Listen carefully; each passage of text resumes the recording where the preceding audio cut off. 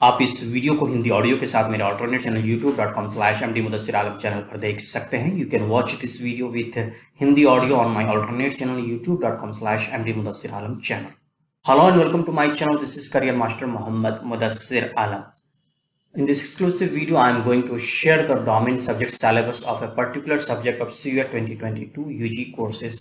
In the video further, I will share out the details, but before proceeding ahead, I am requesting you to watch this video till end, to like this video, to subscribe this channel and hit the bell icon for getting the latest notification.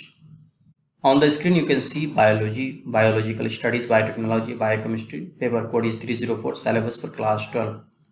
I am scrolling the document. Here you can see note there will be one question paper which will have 50 question out of which 40 questions need to be attempted. Biology, biological studies, biotechnology, biochemistry. This is the common syllabus.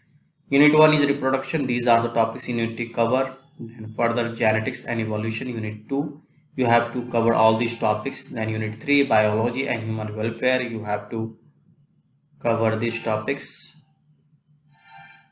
then unit 4 biotechnology and its applications these are the topics you need to cover and unit 5 is ecology and environment i'm scrolling the document you can pause the video and read all the details i have also shared the link of this document in the description of this video you can download the document and prepare for the exam accordingly